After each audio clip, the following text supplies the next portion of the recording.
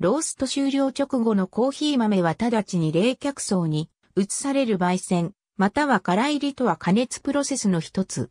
熱媒体として油や水を使わずに食材を加熱乾燥させる。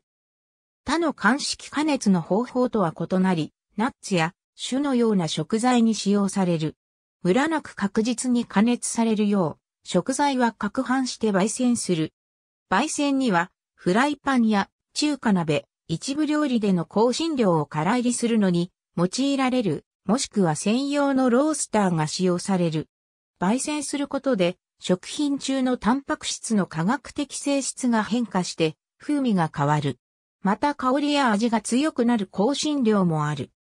香辛料を焙煎する際には一般に様々なハーブや調味料を加えて色がつくまで加熱する。焙煎した食品にはピーナッツバター、茶、コーヒーやチョコレートなどがある。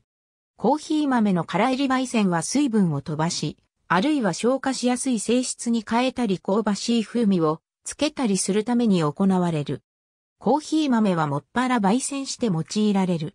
焙煎の程度によって、朝入り、シナモン、中入り、ハイ、中深入り、シティ、深入り、フレンチなどという。緑茶では茶葉を加熱処理する工程があるが、中国の緑茶や一部の日本茶では、焙煎により加熱処理を行い、釜入り茶と呼ぶ。また、緑茶を茶葉が変色するまで強く焙煎することを、ほうじると言い、ほうじた茶をほうじ茶と呼ぶ。穀物では、玄米、大麦など、豆類では、ピーナッツ、アーモンド、マカダミアナッツなどに焙煎がよく行われる。英語でローストは、乾煎り以外にもっと広い意味で使われる。